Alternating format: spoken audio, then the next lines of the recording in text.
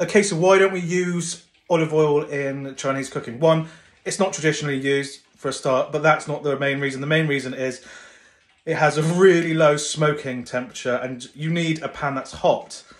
So therefore, before you've even started, you've already burnt your food. Um, and that's why sometimes if you cook with olive oil and you notice that your fried rice or something tastes a bit funny, it's because you've burnt the oil. Um, that's why we don't use it. Also, olive oil isn't a flavour that really goes with Chinese food. There's never really a time that I've had a chow mein and, and gone, do you know what this needs? Olives.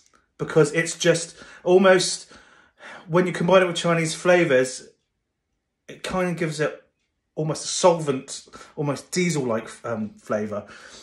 But that is the main reasons why you don't cook with olive oil when you're doing Chinese food. Having said that though, if you like it, you like it, and who the hell am I to tell you otherwise? Just do what you want at the end of the day. Cooking's subjective, and that's why it's so fun.